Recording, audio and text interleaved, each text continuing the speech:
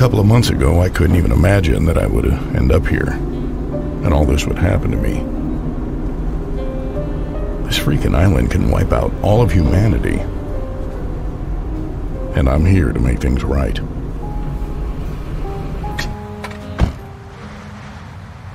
But first, it's time for dinner.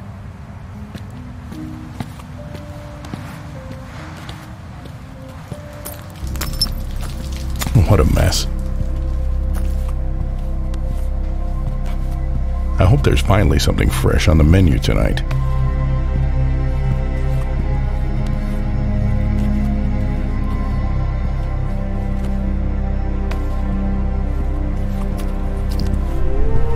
Oh, here we go. Let there be light. And here come the first customers.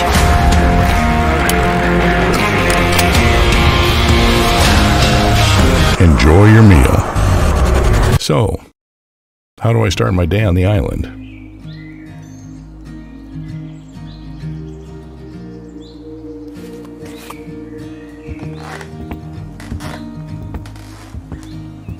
Just like any other normal person does.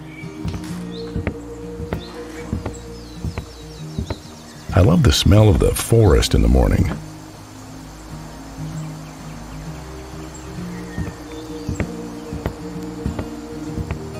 Nothing invigorates you better than a jog in the fresh air. Living my best life. On my way, I stop for groceries.